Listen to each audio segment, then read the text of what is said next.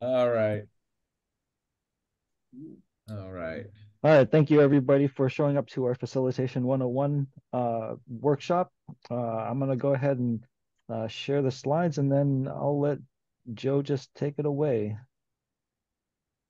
Listen, uh, fellas, this uh, this presentation tonight is going to be uh, mostly focused. Well, it's going to be wholly focused on um, uh, uh, on group facilitation for um, in in the San Diego model. It's it's it's it's our weekly in school group meetings and our uh, biweekly open community groups.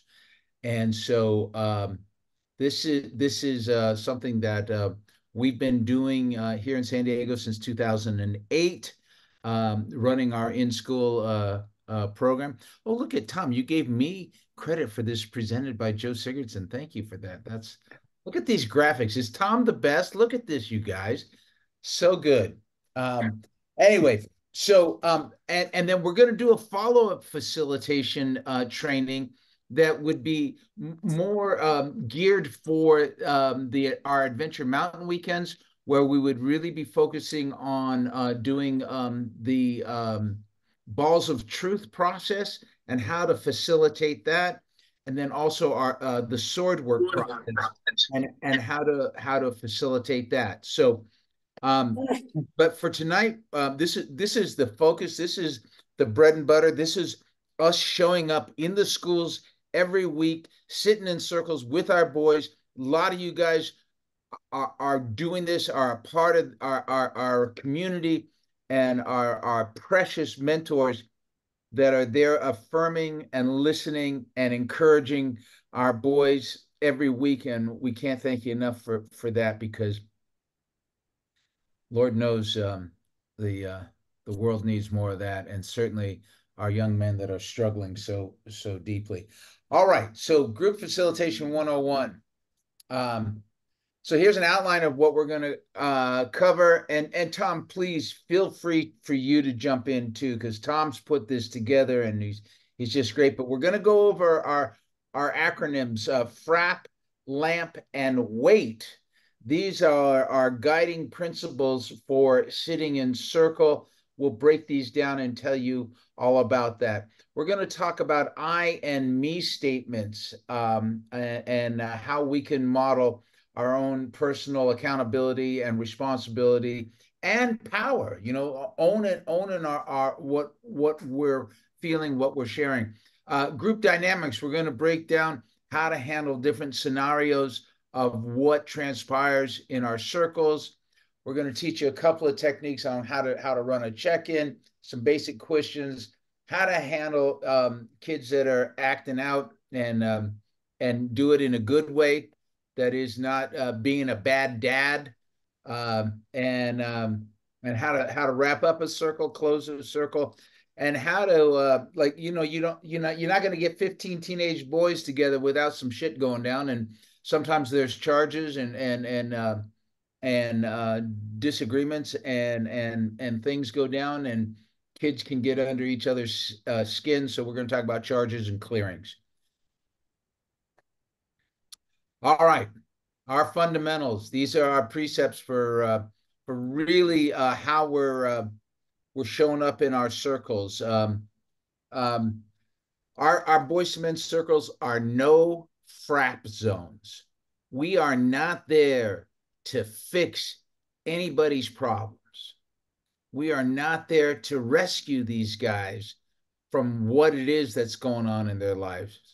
And we're not there to give them advice, or certainly not there to project our own values and experiences onto them. The whole principle around boys to men is meeting boys right where they are as they are. And um, and and we are there to lamp, and we are there to listen, and uh, and and put all of our judgments to the side, just to meet them right where they are. You know, whatever behaviors they're participating in, whatever comes out that may be disagreeable to you, you know, that's where they are now. And and there was a starting point for all this. Something happened to these guys that they figured out this is how it's got to be. And part of our job in boys to men is to build enough confidence and enough trust and impart enough love to be able to ask those questions, you know? Like, when did you feel first feel like this? When did you first start acting like this? You know, what happened to you? You know, and we can't do that until we we build that trust. So listening is key. Accepting what they're saying is is is is is, is always like and we've heard some shocking stuff guys i mean like there's stuff that you know curls my toes and i just want to like s- say no what? No you know? But um you know that that doesn't come until until we've uh, established a relationship with these guys you know? What we there are there to is to model is to model what it is to be an elder what it is to to to meet boys with uh, unconditional love and acceptance you know and and and praising is is is is is super key. And fellas it takes very little. You know if a kid comes in and you notice a haircut say dude you're looking sharp. Love the haircut. When'd you get that?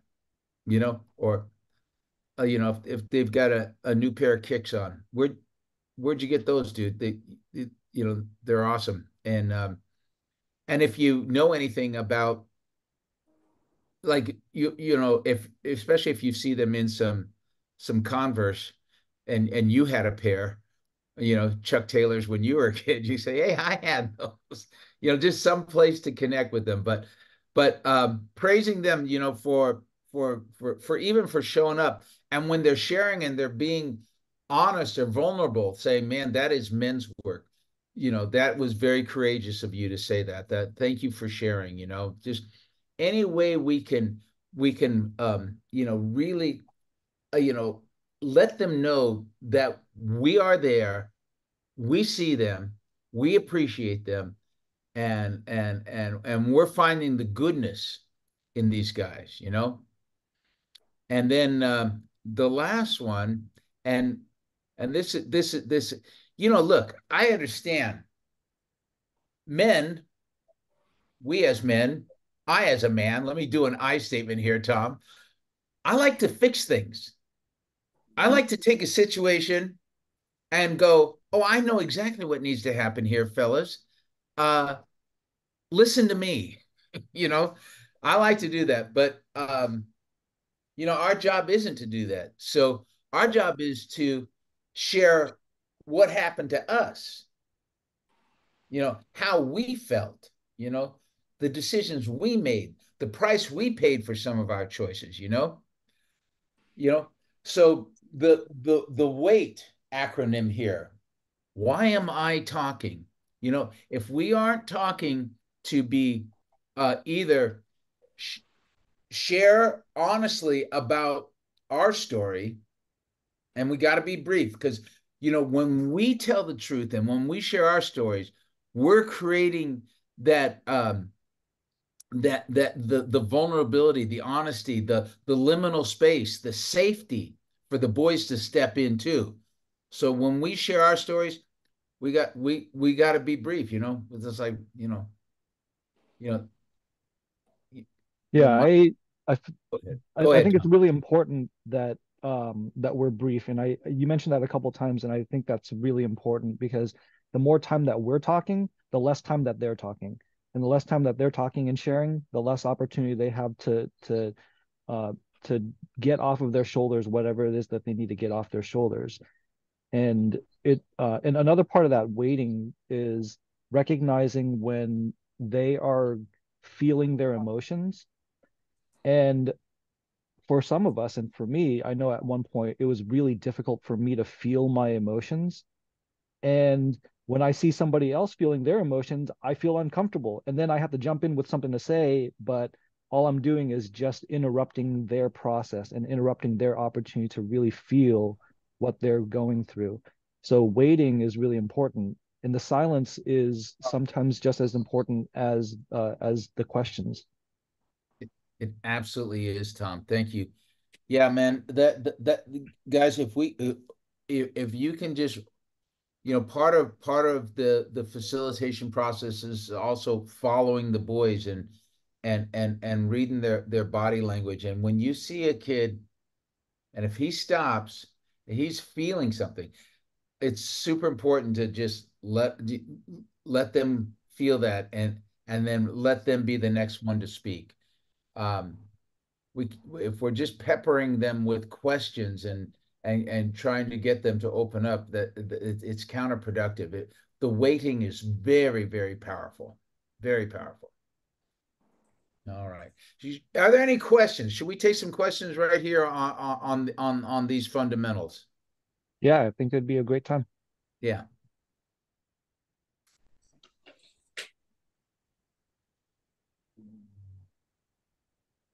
I can't see no, everybody. No questions, just affirmation of what you said. Okay. Oh, good. So uh, everybody, uh, so uh, so uh, we did a good job, Tom. No questions. Oh, look at look! I'm getting lines on my face from the sun. There we go. Okay. Um.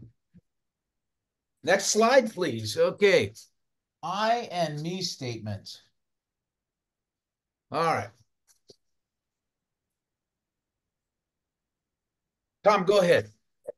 Yeah, so I and me statements are really important because um, what often happens is uh, it when when I hear somebody speaking to you know you or they or you know when and uh, oftentimes I I get disconnected from uh this whoever is sharing.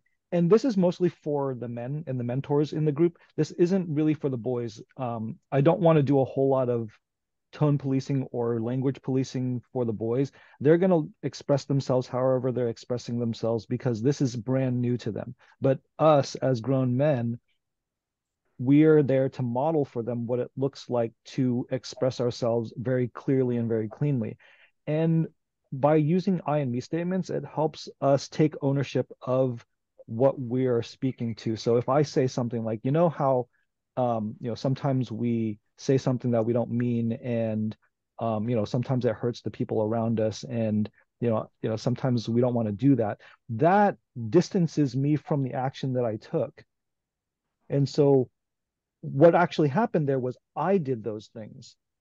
And when i model for them that somebody else did those things and I'm, I'm not willing to own that and and take ownership and uh, and be accountable to my actions i model for them um, a, a lack of accountability. So what I could say instead is, I hurt somebody in my life, and when I do that, I distance myself from the people in my life, and and you know I I have to repair those relationships, and I have to make sure that I take accountability for what I said and what I did, and that that rings a little bit more true, and it's a and it's more honest, and it's easier to connect. And and so when they see us being more vulnerable in that way, it gives them an opportunity to really share about what it is that they're going through. And so it's not just a ownership for us, but it's an opportunity and a modeling for them to say, "Oh, I can go really deep." And and and like Tom said, but you know, if a kid says, you know, when your parents are fighting and it gets really scary, I I know exactly what that kid's saying. You know, I don't need to correct him and and and and implement this, but um, it's it's it it it, it is uh, a good thing for us as as mentors in our modeling to use the kind of language where we're not deferring to the you or the we, but uh, we are owning owning our own uh, experiences and thoughts and feelings. Um, and and not, not projecting them.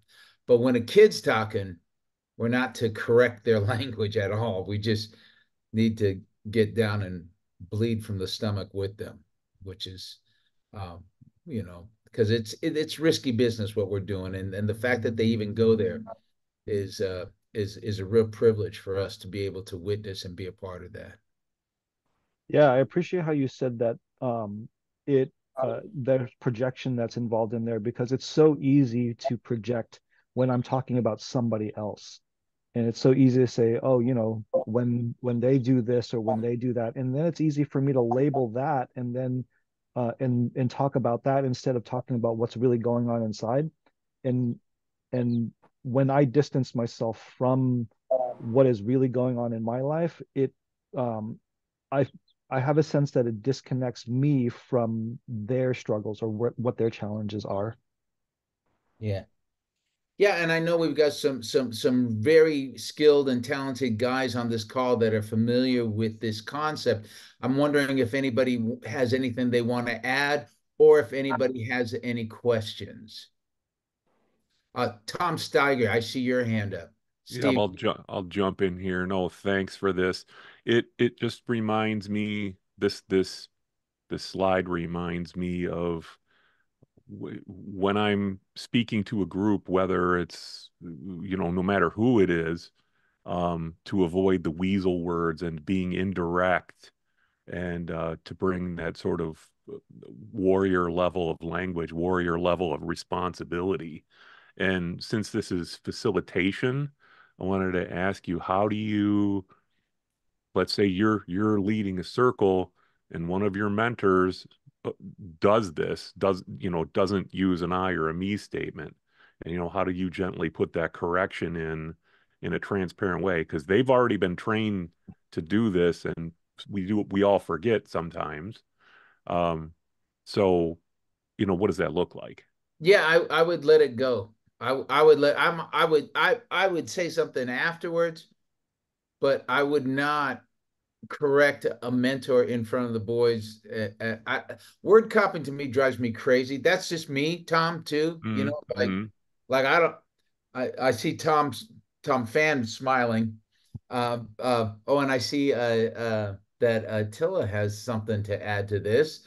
Uh, but yeah, I would I would wait and I would say something afterwards. Attila, what would you do?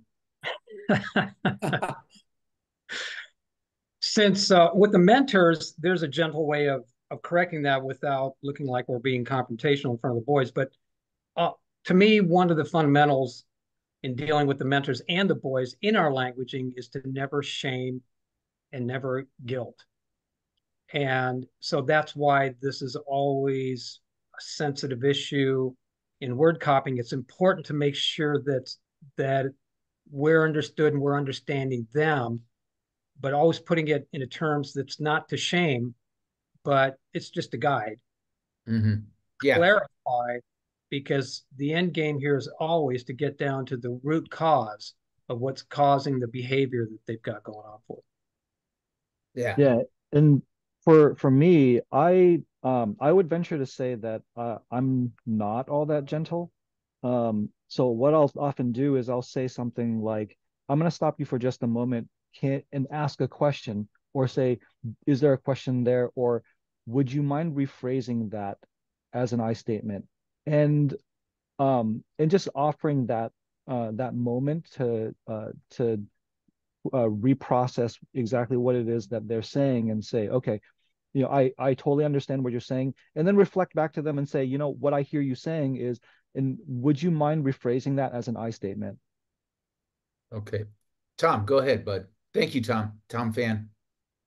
Eh, um, just just further to that, when I was in Virginia and observing circles there for my training, yeah. I did this this situation did come up, and it may be more of a matter of where the facilitator is standing or sitting and where the mentors are sitting, but it uh, I, it's not out of the realm of workability to me to you know if that if that person that's speaking sitting right next to me or you know within a whisper's earshot i statements.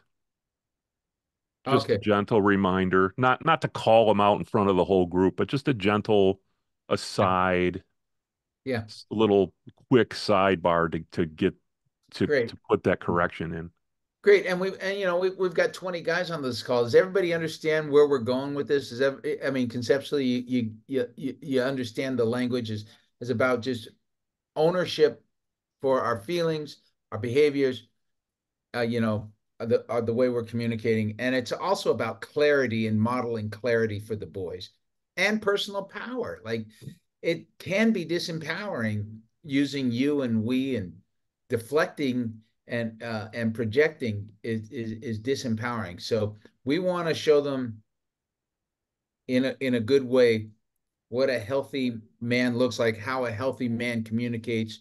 And this is just one way of of stepping further into that. So yeah, uh, and there can be an agreement beforehand too. So I've seen groups use the the um, uh, American Sign Language I as a soft reminder, or use uh, you know sort of this gesture as an. Uh, and so if they don't see that, or if they, uh, if they don't, or if they continue to use uh, you and they statements, then there can be another gentle reminder or whatever it may be.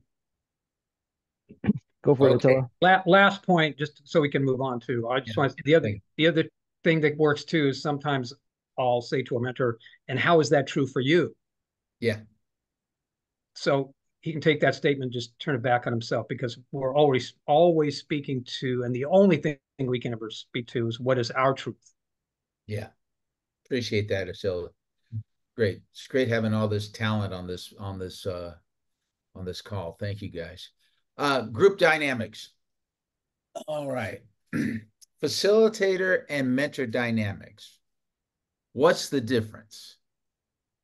All right.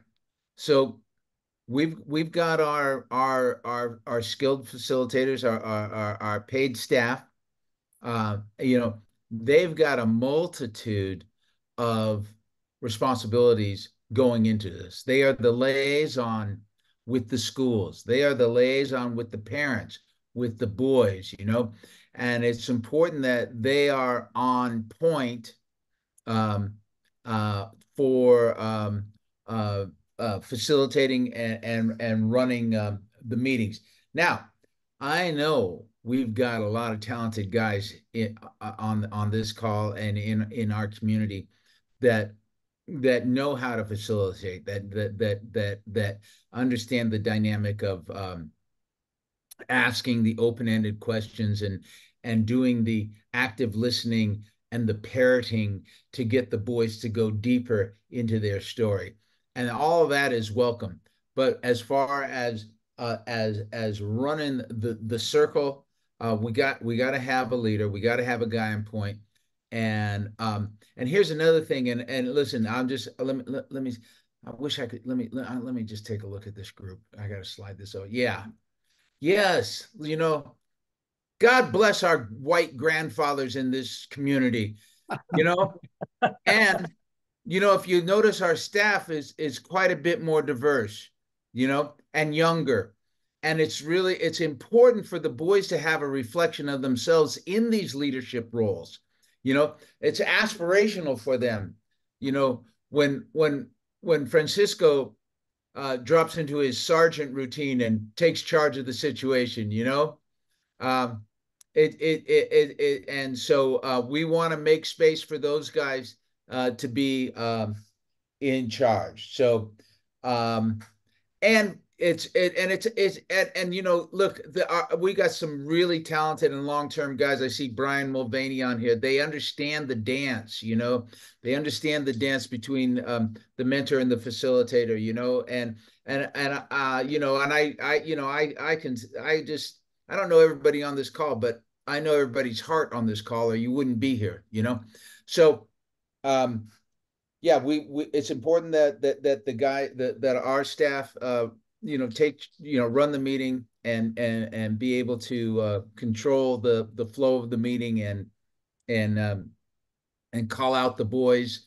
Um, and uh, but the but but our, uh, the, our our mentors are there to also co-facilitate and bring their their insights and their genius and their brilliance and their love and their compassion uh, to the boys as well. All that is welcome. It's just if you we got to be willing to acquiesce if if if if Tom steps in and changes the direction of the meeting, like we got to support him in in being in a charge. Um, um, avoid storytelling and avoid oversharing. Okay, so um, so like and we talked we just talked about this um, um, uh, when we we're talking about I um, the the the um, frap and lamp um, we don't we gotta um, if we're talking too much then we're not making enough space for the boys so attila is your hand up right now Yeah, I just wanted to back up just,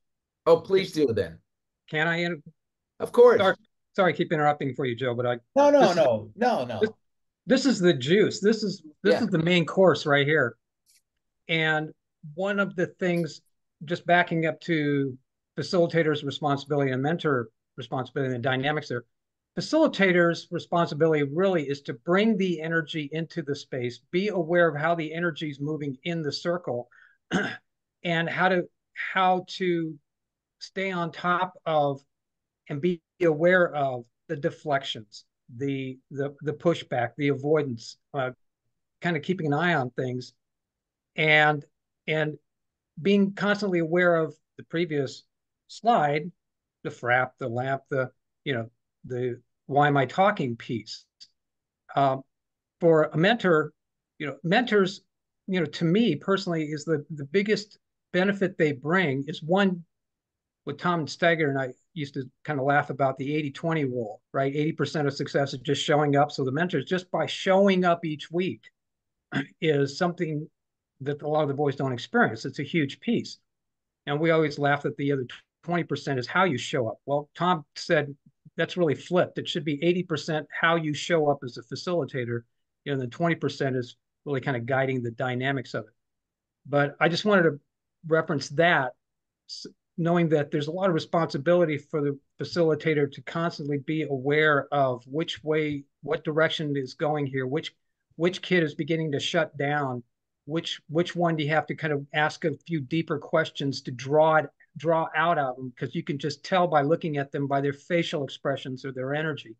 This kid needs to be drawn out and you can and, and you can tell how deep and how far you can go with this kid before you're you're opening up a wound too much. So I, just had to throw that piece out just to you know before we got into the get too far down the road here sorry All right, thank you, Attila. Appreciate that.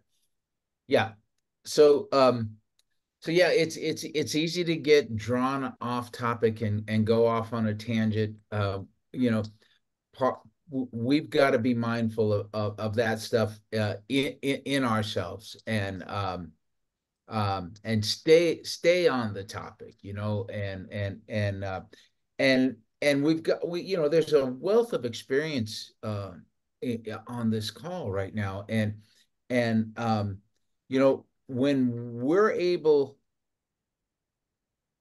to you know authentically and vulnerably um share our story about what happened to us you know and and, and you know every time we're talking about what happened to us how we felt the that that that's modeling you know honesty and vulnerability and that's creating that that liminal space for the boys to step in and do the same you know? So um so so but when when when we get stuck in the story or we're oversharing and and and and taking up too much space or too much time um or or we get off on a tangent and and and, and leave the topic and and you know then um then you you know one of our gifted skilled facilitators may just pull you back on track or um you know yeah another another piece way. of that yeah. is also um when we get into story oftentimes what happens is we start doing our own work in these oh, spaces yes.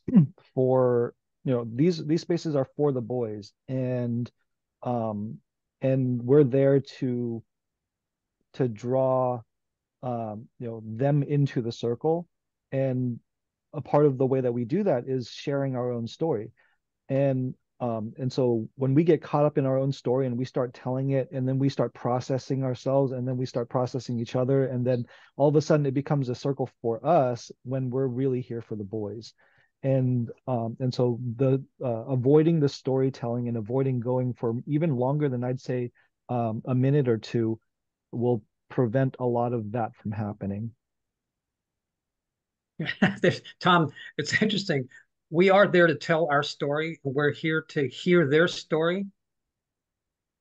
And so the term is when we get stuck in our own story then we're not then we're exactly what you just said. And thank you for pointing that out tom. Then we're we're facilitating ourselves and we're not really there for the boys. Mm-hmm. yeah. We want to make sure that we're not so attached to our story or attached to what we want to say in our story that we that we are glossing over the point or that we're that we change the topic or that we miss the point or whatever it may be um you know tell the relevant piece and then get to the point and then offer it back to the boy that that we're engaging with and then give him an opportunity to to comment on that because that's what we're there for. Yeah. Thank you tom. Thanks you guys. Yeah. Um tom why don't you go ahead and take modeling check-in Yeah, sure. So um the when we're um a lot of what we do when we start a group is we we're building rapport and uh sometimes we'll enter into a check-in with a theme or a context. We may have a question, we may have uh something that's going on in our own lives that we can bring to the circle that is that can be relevant. And um and so uh, when we model that check-in, we want to make sure that we're again that we're clear and concise and to the point. And then when they start to share, we want to make sure that we're following their lead. So sometimes, you know, we'll bring up a topic or we'll have a question and whoever is checking in will just take it in a completely different direction. And what I've seen in the past is, or at least what I've seen in some circles, is that um, they're redirected back to the topic that that we're we're talking about, and we really want to avoid doing that because whatever they check in with is relevant to them in that moment. And the whole point of this is to give them an opportunity to share about themselves and to share about what is relevant to them. And what uh, you know, Attila often says is to relieve that pressure cooker, right?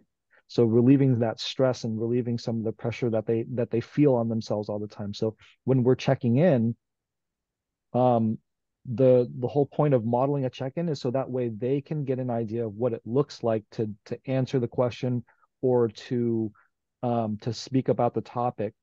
And um and so we want to make sure that we quickly model the check-in, maybe offer it up to another mentor to check in as well if it's a if it's a little bit more complex, and then get right to the boys. right on tom thank you tom tom Oh, St- Tom you, yeah, you, you, you've got a question yeah.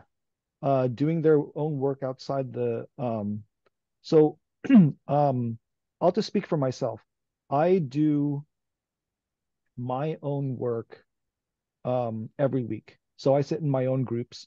Um, I meet with my uh, with uh, you know with friends, and I and I check in with them.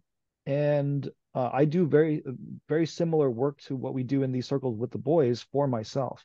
And you know, um, I have my own therapy sessions and things like that. And so a lot of this, uh, a lot of the the work that I'm doing is done outside of the circle and i'm so i'm not so attached to that um, that when i bring up that topic or when i bring up the the challenge in the circle that i feel the need to continue to talk about it. This is just a relevant topic. This is what happened to me. And has anybody else gone through this before? And you know i want to hear from all of you if any of you are currently going through that uh, that challenge. And let's talk about that uh, joshua joshua You want- What challenge, what challenge is that? Oh, no, I think I was just replying to the question that uh Tom was asking about, you know, d- doing our own work and where, and then Tom was kind of touching up on that. Um, but it's unpacking our traumas, working whatever it is that uh hurdles that we may have in life or whatever it is that that we are going to be modeling yeah. to be able to work that through before or outside of the groups beforehand be able to be good um know how our when we're triggered when we're activated what is our physical cues or what what is it that that uh reminds us to say oh you know what? I'm kind of now getting back into you know processing my own stuff instead of being here to help them the, the boys process Okay, thank thank you, thank you. And and if you guys don't know, Joshua is our, our newest team member. Uh, welcome to the team, Josh, and thank you for your contributions. And then uh, let's see, there are many men's group. Yeah, yeah. Yeah, we've got places. To, yeah, men. If you if you're looking for support, thank you, Frank Dunstetter. Yeah, if you are looking for for additional support in your lives, you know, uh, you know, uh, Frank uh, uh, Frank mentioned the Mankind Project. This is the uh, the the experience that that that uh, this is where I met Craig McLean back in 1994, uh, and it was through that experience that we we created Boys to Men. We did our own rites of passage initiation weekend, but we, there was men initiating men, and and we got the calling. Well, we should be doing this for our boys, and uh, so um, so Mankind Project is a, is a great place to go if if you're looking for uh, more emotional uh, support or you need help working through traumas. And then um, you know, and uh, you know, big another big part of my story is I think y'all know I've you know I've been in AA for 38 years. I've got 36 years uh, clean and sober, and um, you know a lot of a lot of the precepts around AA is about listening, accepting, and encouraging, and not telling. You can't tell anybody what to do, but you can certainly share your own story about what happened to you. You know, you know, it's it's we shared in a general way what it was like, what happened, and what we are like now. You know, this is uh I mean, that's straight out of the big book. And so, so a lot of this, the, what we're doing in these circles is, is, is, is stuff that, you know, you know, has worked in all kinds of different arenas, you know? So, mm-hmm. Um, yeah, I really appreciate you asking the question about, uh, you know, doing the work outside of the circles because it's, I feel that when I do my own work outside of the circle, I'm able to show up in in a more clear space. And also when some uh, when a, whenever the boys are are going through a challenge i'm able to better relate to them because i have just gone through my own challenge. And so it's a uh, I think that uh, it's also a form of modeling too okay you know uh, what really benefits these boys too and me and the point of modeling is to is to you know, present to them here's how we how here's how I handle my challenges. I'm not suggesting, and I'm not uh, recommending, advising that this works for you, but here's how I got through mine. You know, and for me, you know, Mankind Project, meeting Joe and Craig, uh, you know, having my own Mankind group for almost 20 years, uh, stuck a lot. I've done just tons of personal development work. Um, you know, I mean, even some guys on the call here have a maybe religious thing that worked for them but we're not there to advise that. But we can say, hey, here's here's how I got through this difficulty uh, in my life, and that's that's what modeling is all about. But this is all it's always in the context of this is what worked for me. I don't know what'll work for you, but here's here's what I did. And if nothing else, if they don't take to that, they they can at least the, the message is whatever you're going through, you can get through as well. You know, find your path. Okay. And to answer uh, Tom's uh, question about uh, Tom, Tom Steger. Yeah, Tom Steger's uh, point about not having a formal program or structure around handling the mentor facilitator work.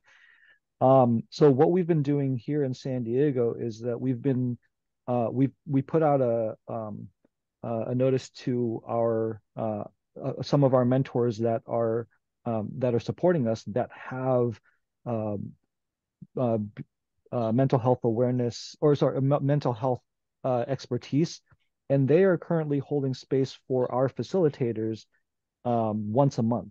And so we're doing it that way and then we're working on developing a men-to-men group where we are holding space for the mentors as um, as the, we hold space for the boys. So uh, we're working we're currently working on that model. And so i'm really grateful that you brought that up because um, it, it's such a, an important piece of uh, of do, doing the work that we do. Um, if i'm expecting the boys to do the work in these circles then it would make sense that i'm doing the work too and providing that for uh, the men in the organization is a, a vital piece to that yeah Thank yeah go ahead frankie Go ahead, Frankie. Yeah. Hey, to uh, I that is a great question, but um, I'll share my little personal. I, as a person who deals with mental health issues, um, personally, I I seek my own personal uh therapist as well, and also Men did implement a new EAP option which gives us options to call. And we do we um the EAP does I I've reached out myself. It offers free counseling, free therapy, and free help that we can call that Men actually just put in uh, I think it was a few weeks ago.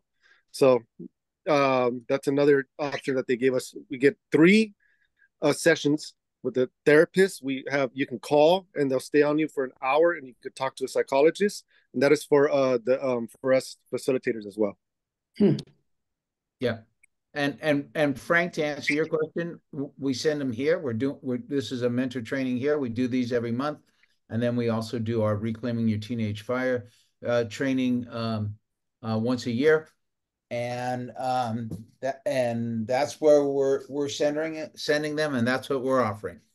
And um, um, and let's focus on the boys here. So, uh, are, are we good with modeling and check-in?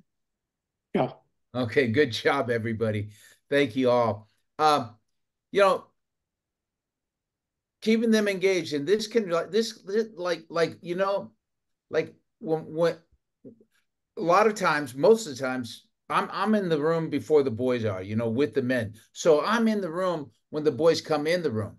So like I get to I I I practice engaging with them like straight out of the gate. And it's really important to know their names. You know, it's really important that you know when the, if that kid's showing up every week, you need to know his name and and it's getting harder for me. But but but I will lean into another mentor. What's this kid's name? You know, because I want to give him a, a proper welcome, you know, and and and engage them uh, straight straight out out of the uh, gate. And then um, the other thing is like you know, and it and it's hard. You know, you got you got you got fifteen kids in a circle and, and four or five men, and and um, there's there's gonna be there's gonna be some grab ass going on, and and um, and and we got we got to be we, you know the facilitator's got to be in charge and has got to has got to you know shut it down and and you can do it in a good way and and and avoid having to you know um, get into that bad dad energy. But um, you know sometimes there has to be a sacrificial lamb you know? And like you know if if you called the kid out twice, you say, dude, if this may not be your week. If I have, if we have to stop again, I'm going to ask you to leave the room, and um, and then um, and then you have to follow through on that. You know, um, that's just that's just part of the uh, of the consequences, right? You know, we're here doing men's work, and if um, you can't be a man today, it's okay because you're 13 years old. Not your not your fault, not a problem.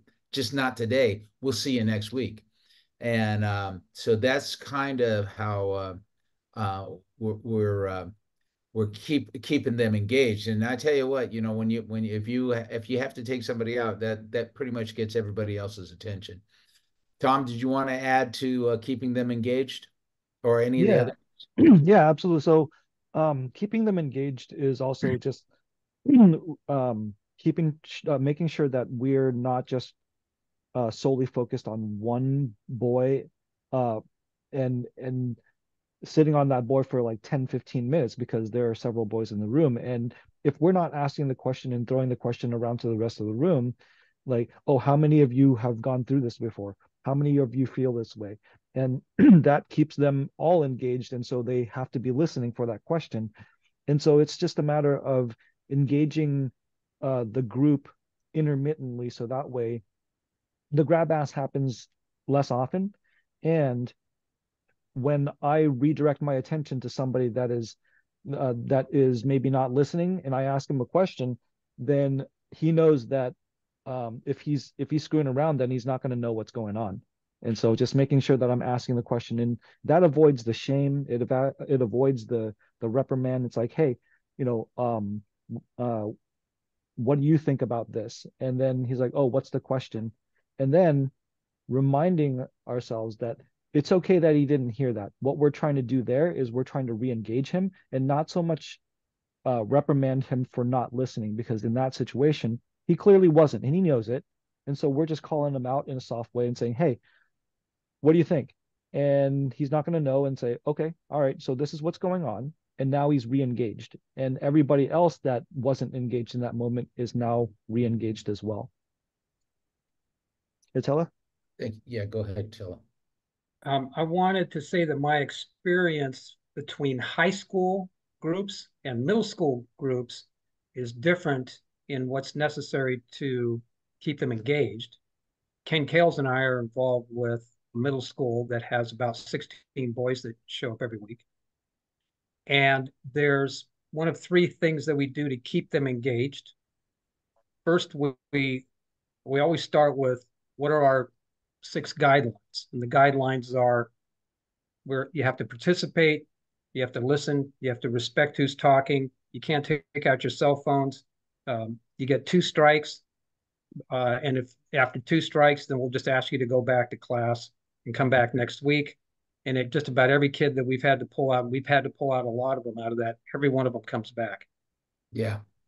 Um, because we don't do it in a shaming way. It's always a, hey, you're just not ready to do the work this week. Because the other thing that we start with is we go, okay, why are we here? Just as a icebreaker. And then they'll say, oh, we're here to talk about our emotions, something like that. You know, yes, yes, yes, we're here to talk about what's getting in the way of you being the man you can be. We're here to talk about how you can be successful, uh, how can you can accomplish and be, do, and have whatever you want. So those are some of the things we do. But how we start each meeting is we'll either start with a topic, or we'll go right into a check-in, or we'll pull out uh, some questions from a box of questions that we've got, and the, the we'll just see what the energy's like in the group. We also Ken's really good about this making sure that when we've got groups of two or three boys who are now creating their ruckus in the corner because they're they're buds, we'll break them up. So, you know, he'll get up and he'll move to the other side of the room and say, "Okay, okay, I'll trade seats with me." Okay, so that's part of the facilitator's job is to watch that dynamic. But you know, like Ken being a, a mentor, he does a great job in watching that energy and kind of breaking up the circles a little bit so we can keep them engaged and keep them participating. So those are just a couple of tricks that we use. Right. Um, uh, first, I'd like to say that it's a zoo in there sometimes, and Attila does a great job. I, I, I wouldn't be able to keep my wits about me, and sometimes I don't. But I, I think that I've learned a lot. But I think one of the biggest things I've learned is that I've had to readjust uh, what I see as uh, success or progress. Because we have kids in there, uh, every one of them, or most of them anyway, have ADHD or they've, they've, they've got something going on. And it's very difficult for almost all of them to just sit still. And so, you know, maybe they were, you know, anxious at this level on the first week and now they're down to like this level. They're still, they're still disruptive, but it's less disruptive. And um, and I, I have just had to learn to appreciate that more. Uh, even if they're not able to focus so much on the the whole discussion, there are some little pops of insights, and it's like, okay, I, you know that that's good. Yeah. Thank you, Ken. All right. All right. We good? We good there with uh, keeping them engaged?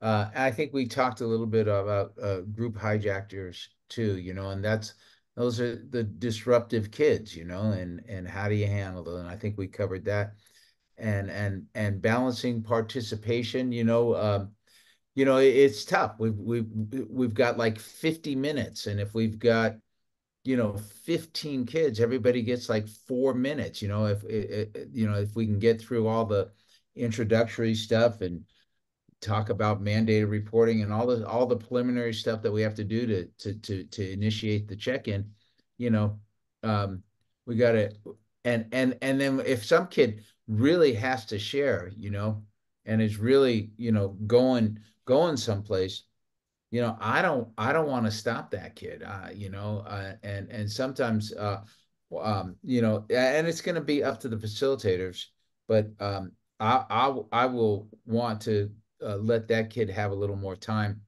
to to get whatever he needs for that day and know that we'll be back the next week. So, um, Tom, did you want to speak more on balancing participation?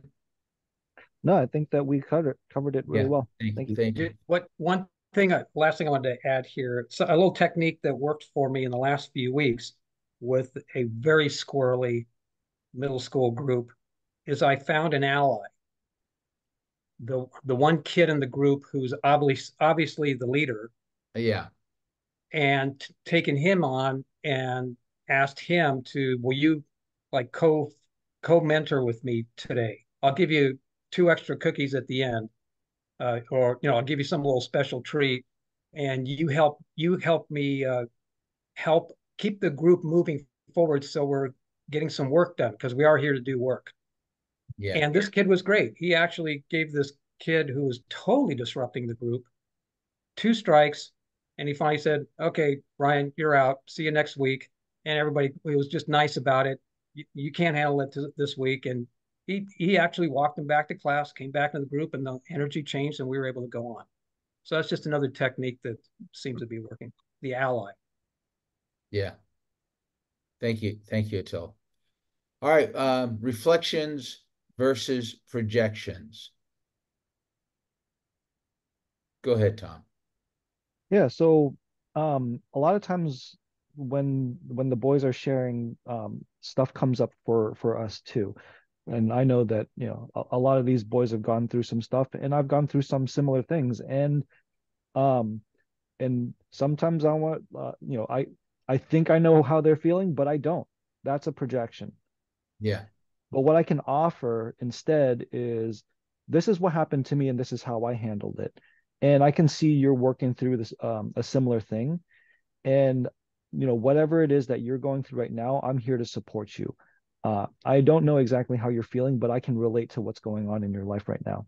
And so the reflection is more of an opportunity for for uh, for me to think about what happened to me and then just share that and say, you know, hopefully that tells you that I can at least understand some part of what you're going through.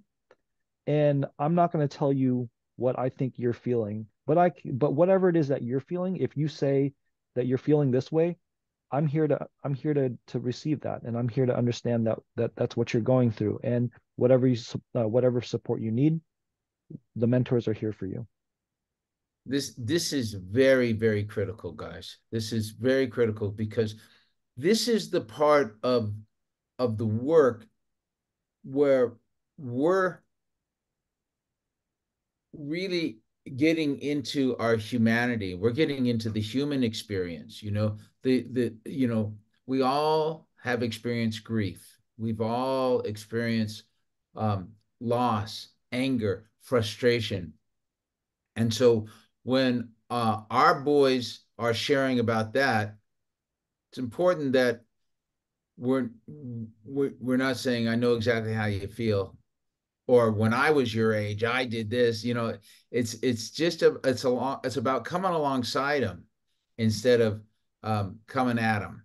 And um, um, but this this is also the magic, you know, and this is where you know the symbiotic healing comes for the mentors as well as for the boys. You know, you know, because if if if in our reflection with the boys we find some wholeness for ourselves because that kid is taking a little nugget from you you know? And you you your your pain your grief is bringing value to somebody else's life. That's that's that's why this thing works. This is this is why we're doing these these monthly meetings. This is why tom's working so hard to to create these opportunities because we want to keep you guys engaged. And and if and if you're only showing up to be a good guy we know that that's not enough. You know that that that that, that this has got to fill a part of your soul as well. All right. Here we go. All right. Check in. Whip. Uh you guys have seen this scale of 1 to 10 how how are you feeling today you know and um you know, depending on the size of the group, sometimes this is all we can pull off. You know, uh, we've we've got twenty kids out at Lakeside, and we actually just recently split it into two circles because we had enough mentors, thank God, that we could uh, do that. But if you don't have that luxury and you gotta you gotta you gotta run a group, you know, one one to ten, how you feeling today? I'm a seven. What makes you a seven? And um, and then and then and and you know, everything is about open-ended questions. And he said, Well, I'm a seven because uh, you know, I uh, I liked my breakfast or or whatever, you know. Okay, you know. So um, and it's also like, you know, we're not we're not there to be conned either, you know. You know, so so so you know, you you can ask these open-ended questions like, well, tell me more, you know, what what does that mean? Um, t- uh, Attila I see your hand up. Yeah, just real quick, just one thing. I know this isn't one of Tom's favorite things, but uh, a, a variation. Don't say it. no, he already knows because he already he, he says it many times. Um, just one variation on the whip check-in. Sometimes if we're in a topic or asking questions and it, you know maybe that takes some time, we do a whip check-in at the end. Then it's just okay, real quick, how are you doing on one to ten? But usually on a check-in, we'll say, how are you doing on a one to ten at home? How, are you doing on one to ten at school? And how are you doing one to ten overall? And if they yeah. break it up like that, then that sometimes they'll open up a little bit more to give us a clue. Well, I'm an I'm an eight at home, but I'm a, a seven at school. Oh, okay. Yeah. Well, and then that just gives us an opportunity to ask questions a little bit deeper. Yeah, that's great. Thank thank you. Thank you for that, Attila. Great. Um, so I, I think everybody's pretty familiar with the one to ten and and and and how and and um you know, it's amazing sometimes, you know, where that, that, that can lead these guys, you know. Um, feelings check in, check in with the ba- basic emotions, sad, mad, glad, afraid, shamed. And then, and then uh, again, applying those, those open-ended questions around, you know, you know, t- tell me more. I'm, I'm, you know, I'm sad. My, my, my dog died. Oh man, you know, tell us about your dog you know what do you miss and just those those those those uh those things that just drop that continue to drop them down you know?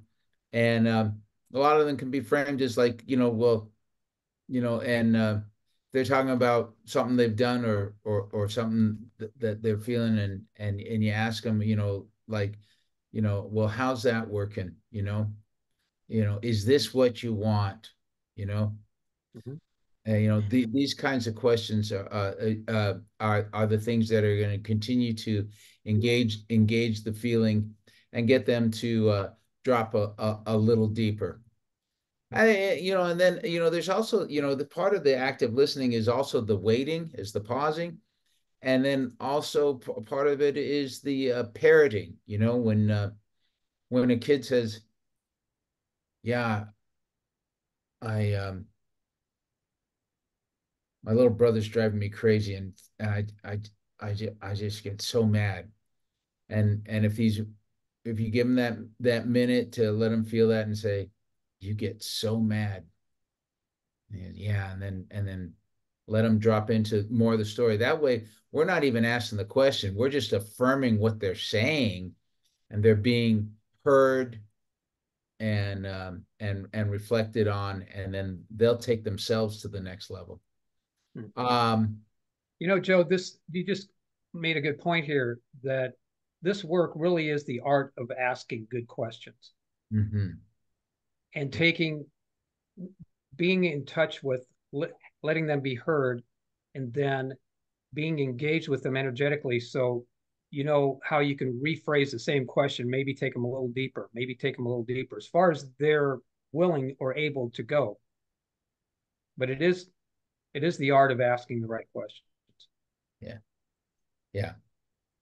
Okay. Um, Joshua, what's use MI?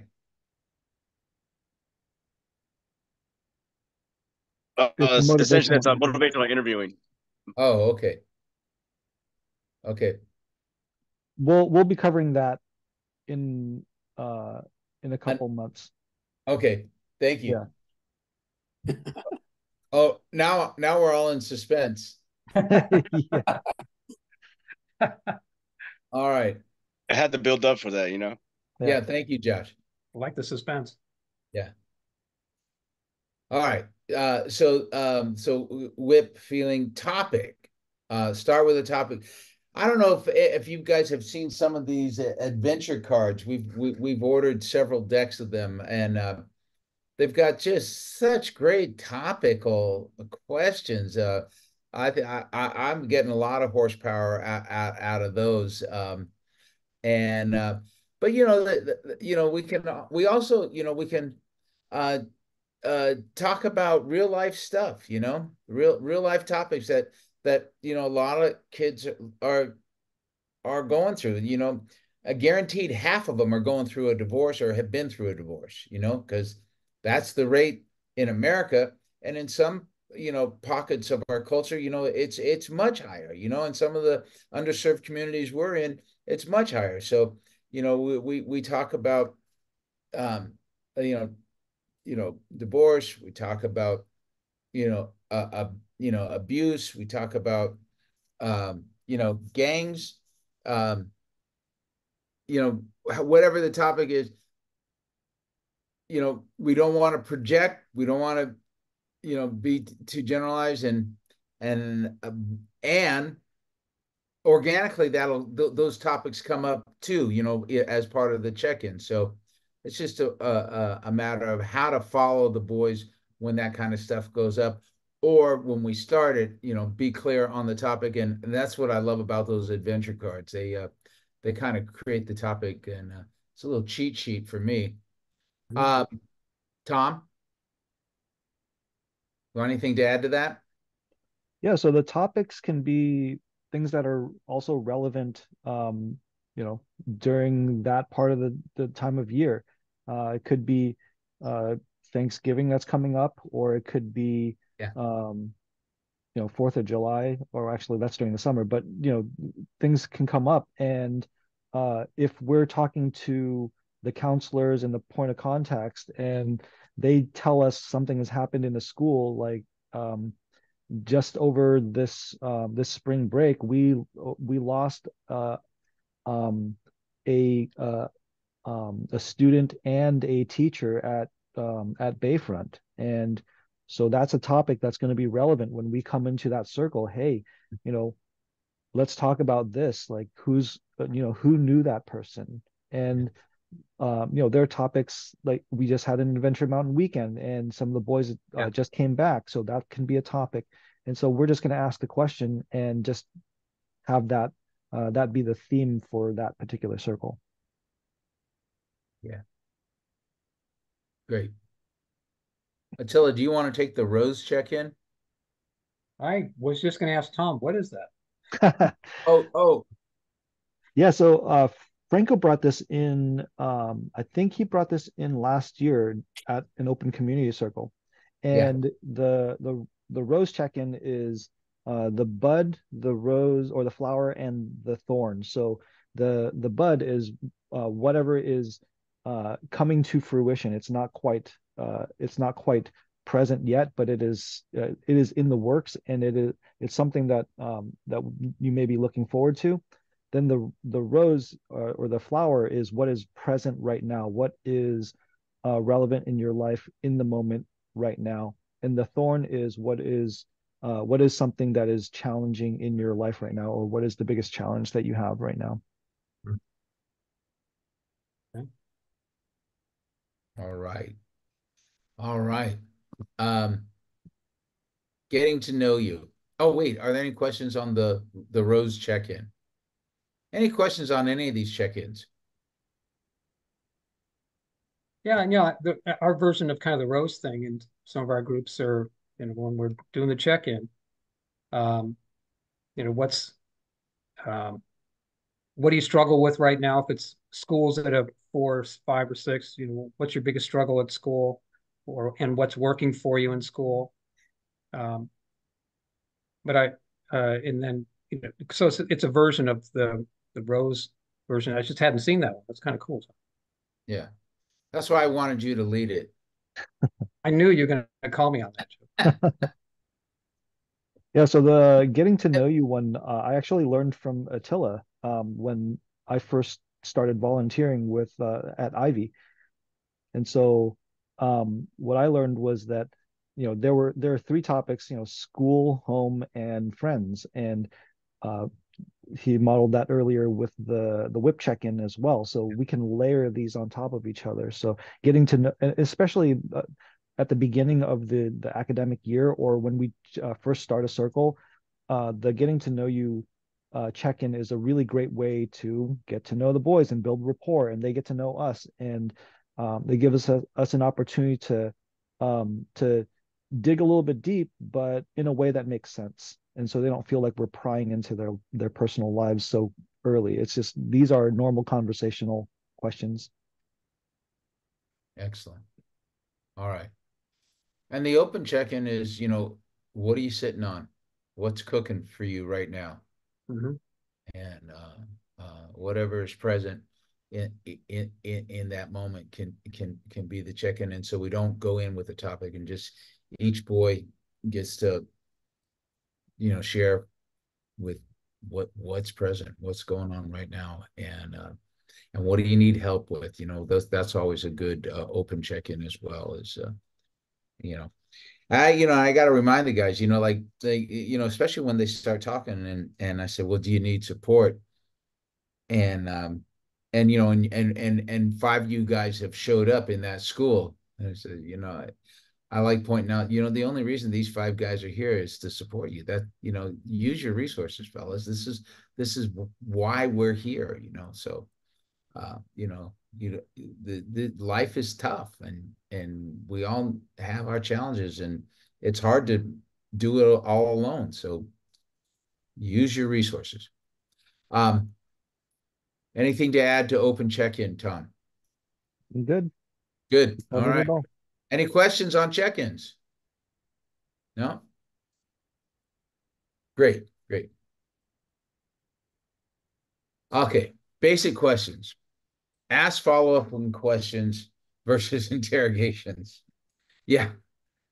Yeah. Um, so, you know, the kids um, talking about feeling sad, you know, the the question is it it, it you it, we, we're not going into anything like why are you sad you know, it it it, it first of all, it, it's an observation. I I can see your sadness, you know, and it's an invitation. Tell tell tell us more about that. You know, it's it it, it it's follow, and he says, well, you know, I just found out my mom's got cancer, you know. And you know, and then there's the empathy. Oh, that's that that's horrible. That that that sounds tough, man.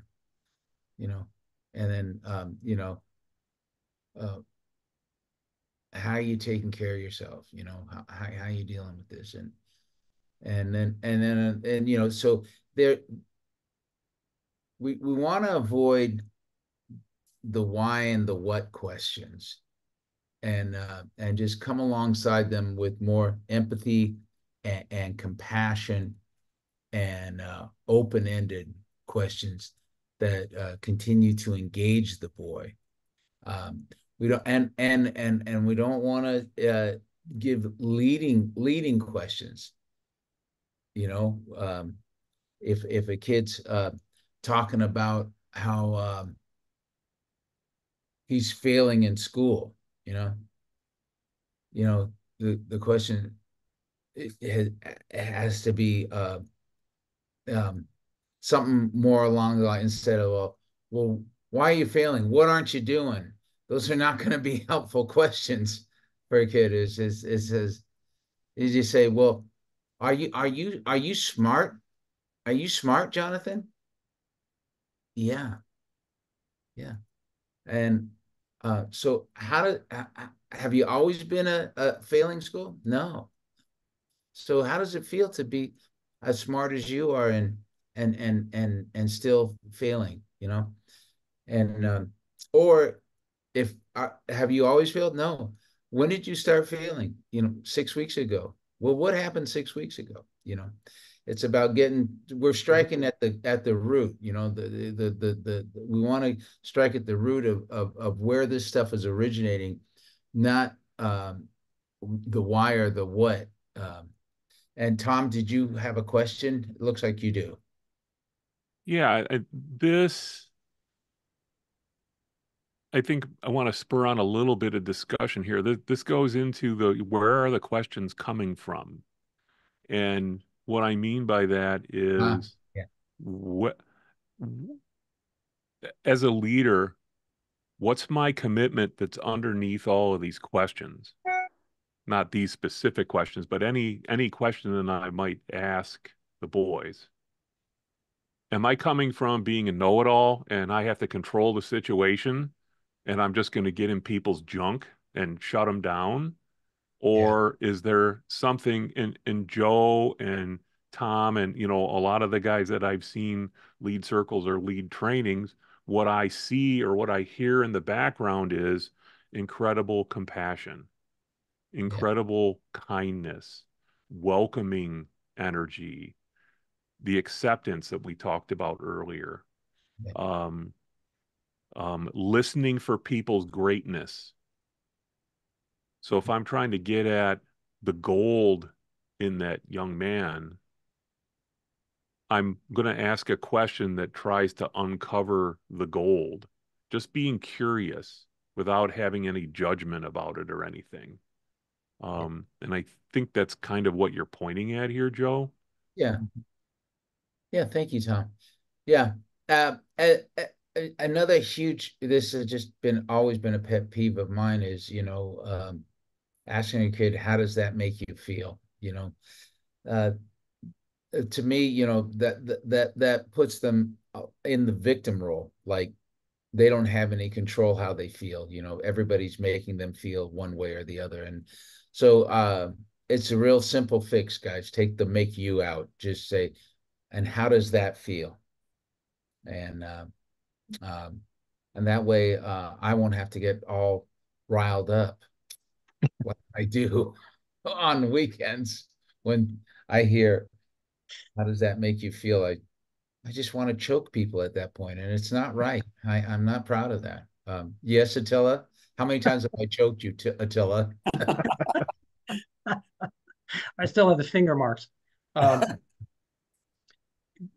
th- this, thank you for bringing that up, Tom, because as we we're taking it, as we were saying before, you know, this is the art of asking good questions.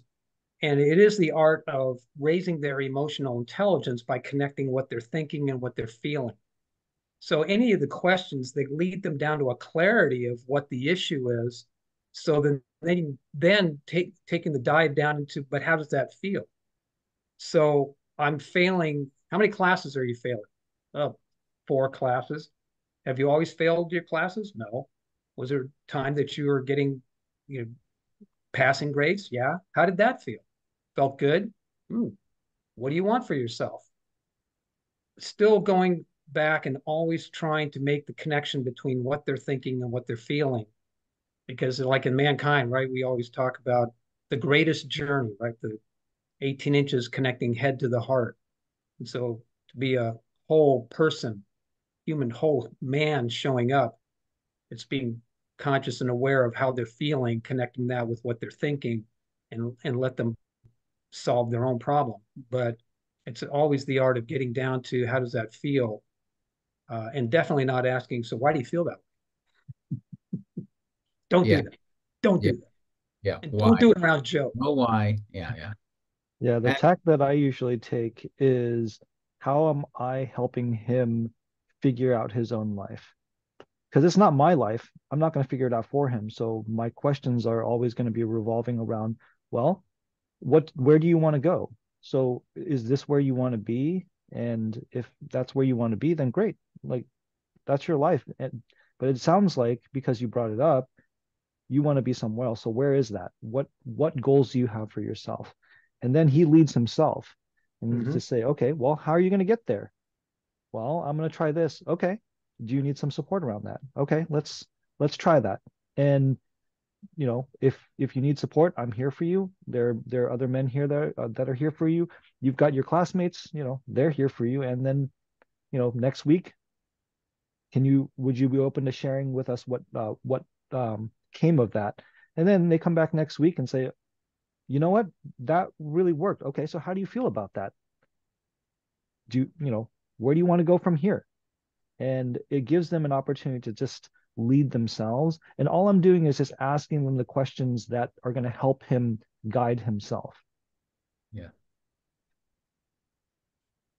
Excellent. Great job. Thank you, guys. Any questions on basic questions? Yeah. All right. Tam, this is all you. All right. So charges. Uh, so um, like Joe said at the beginning, you know, in a space with a bunch of rowdy boys, um, emotions are going to be flying around, and oftentimes that comes with, uh, you know, some feeling of disrespect or uh, anger, and and then they, you know, oftentimes they they uh, they lash out at each other, and they they don't know how to direct that energy, and so this is an opportunity for us to provide them with uh, a couple of uh, steps that they can use to to clear uh, that energy. And so it's a and it's also an opportunity for us to learn. Uh, you know, when I know that sometimes I'll get uh, I'll have my own judgments and projections about what's going on and how things I how I think things should go, and then all of a sudden now I find myself um, charged up, and this is an opportunity for me to clear that energy so that way I can come back with a more clear head. So um, in this situation, um, oftentimes there are uh, uh, there uh, there are two people that are involved in this particular thing. It's usually the person that that has the charge and the person that uh, that um, they have a charge with. And so this is uh, it's important to recognize that the person that has the charge it's about them. It's not about the person that uh, that they have a charge with, which is uh, who we're going to call the mirror. The mirror is there just to reflect back to them what is going on um, uh, in uh, in their life right now. And so uh, we set it up with uh, the the mirror and the participant, or who the person that has the the charge, and then we have a facilitator, so that way uh, we can guide them through the process. And um, we have to make sure that we're that we're clear that um, that both participants are willing to participate in this and that they uh, if they need support that they're given support in some way and that the mirror understands that this is not about him this is about the person that has the charge and so that's uh, that concept yeah. not always an easy concept you know not always an easy yeah it's, this is like you know and, and not easy for men to do either. You know, um, so so uh, to ask this of boys is um, is a lot. Uh, uh, they, they they tend to get there quicker than men get there, though. Um, in my experience. yeah. You know, this is one Tam that uh, might have a be part of a, a practice session or something on how to do that. Mm-hmm. We had uh, we did I've seen two situations where two boys uh, had, you know, charge, and we went through the typical MKP kind of clearing, and and it worked out great. However, uh, I think it's something that a facilitator, somebody who's had some practice on the process, to make sure it's effective. Yeah, this we mm-hmm. could do a whole training on do on how to do this. This this yeah. could be a, a half day workshop for sure. Yeah, it's yeah. Right. Yeah, so I'll just go through really quickly what those steps are because there are a couple of different ways that we can take this. And so first we need to start out with obviously the the uh, person that has the charge and then the person that they have the charge with. And so that's the participant and the and the mirror. And um and so the first thing that we're going to get clear is what actually happened. And it's just about the facts. It's just this is what happened. This happened, this happened, this happened, this happened. And anytime that they say anything other than than something that happened, then we have to stop them and say, okay, you know, uh, that it, it's oftentimes e- either a feeling or a judgment. And so they'll say something like, I feel like when he did this, wait, that feeling is a feeling, right? Or I think that, well, you think that, but are we clear that that actually happened? And so it's a matter of understanding what um, you know what actually happened and this is something that needs to be clear on both sides so that way we can get all the facts straight. And this is just the the person that is uh, doing the, the that has the charge. The the mirror doesn't say anything. And then they get to express um, what their uh, what they thought happened or what their judgments are around what happened. So they get to share uh, all the judgments, and then they get into um, uh, how they reacted or responded in that situation. Oh, I got angry and then I withdrew, or I got angry and and then I pushed him, and this is how I reacted. This is how I responded to the situation. And so that's one way to go with it. And then I'm gonna I'm gonna go ahead and uh, finish that track, um, and then they talk about how they felt in um, in that situation when they did this or said this. I felt, and that gives them opportunity to to really um, dig into what it is that is going on inside of uh, you know in their body at that moment. And then they get to reflect on it and uh, and uh, discover what happened in the past um, or um, where they might have felt that in the past. And typically uh, the the best route is uh, when that happened to them the first time. Yeah. And, and so that's uh, that's one way that we can take it. And then after the uh, for the second track, we can do uh, after the judgments, we can go right into feelings, how they felt, what does that bring up for you, and then um, and then if it seems as though they're projecting um, those behaviors, um, it could be somebody in their life, or it could be them that is, that uh, that's going through that uh, that um, has done those things before, and all they're doing is projecting that onto the other person, saying, "You know what? I don't like that about me," but they're not willing to say that about themselves. They're just saying it about somebody else. So it gives them an opportunity to recognize that somebody in their life, whether it be you know um, somebody that they're close to, or it may be themselves that is doing this particular thing. And then um, and then they get to reflect and say, well, uh, or ask, uh, where do they do that particular thing uh, in their own life? And so that that projection could just be themselves, and they are disliking themselves in some way. And from there, no matter which track you you take, you can just go down through that and um, and ask them to own those projections and own that they are um, that they are taking something that is relevant in their lives and uh, and putting it on somebody else and attacking that and asking them if they're willing to take that back and to withdraw those projections.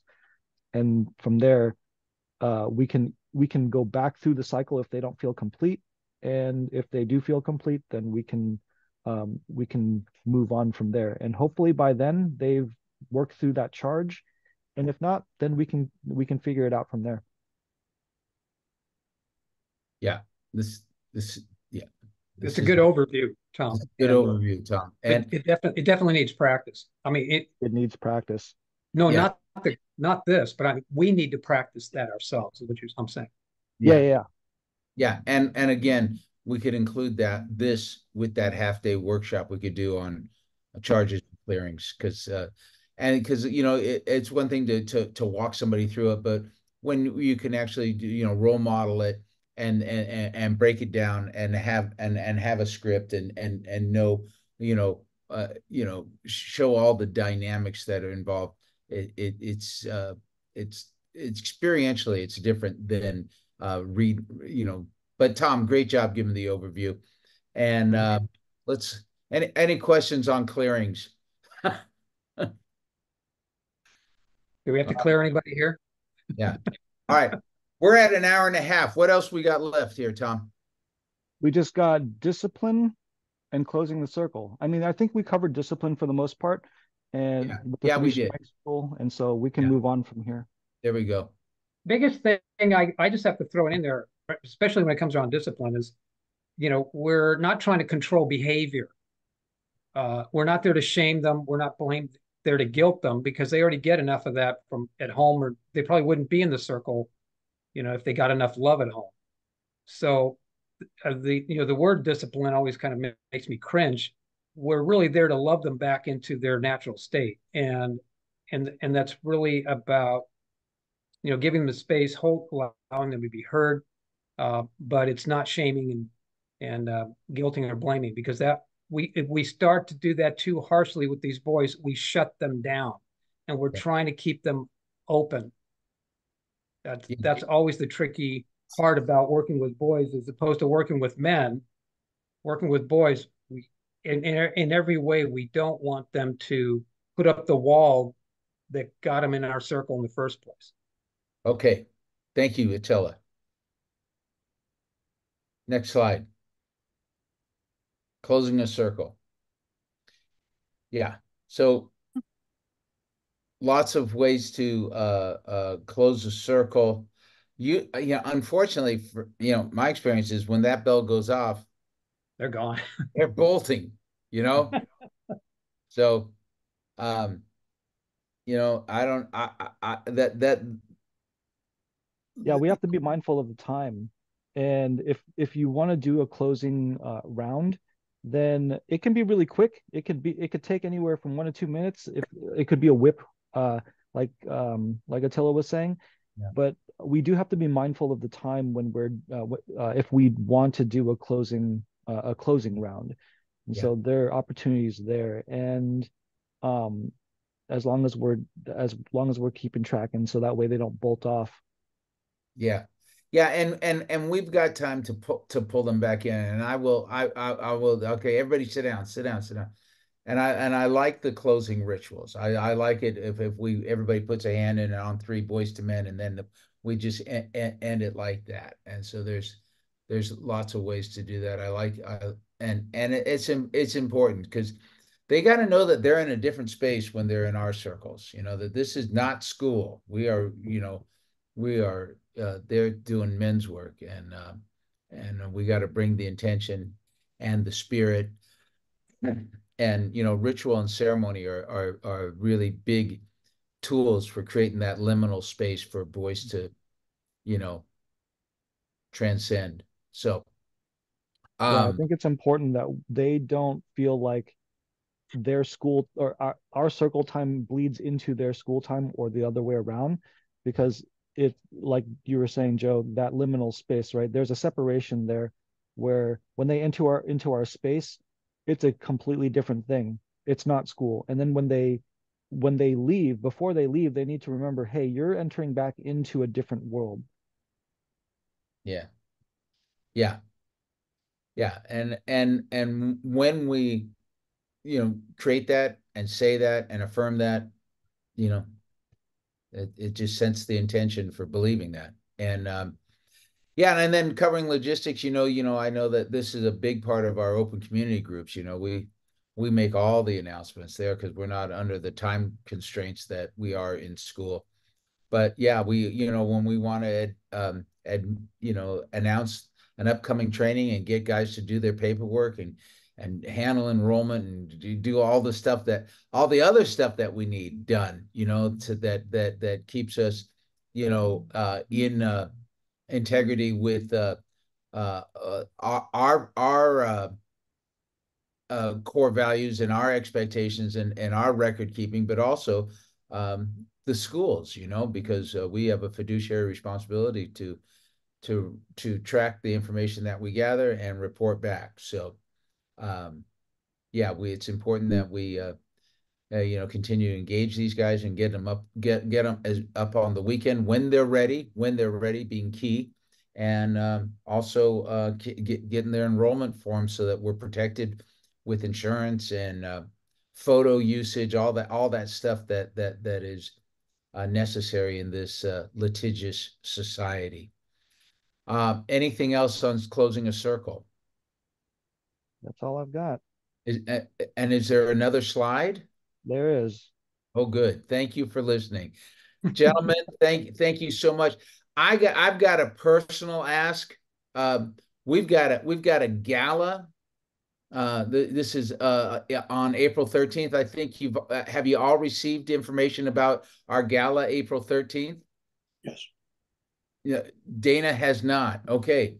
Dana, I'll get it to you. Um, so this is this is um this is a major fundraiser for us, and you know I don't know if you guys know, but you know we're we're charging the schools five thousand dollars, but it's costing us twenty five thousand dollars a year per school to deliver this program. So we're coming alongside them with our own resources, our own grants, our own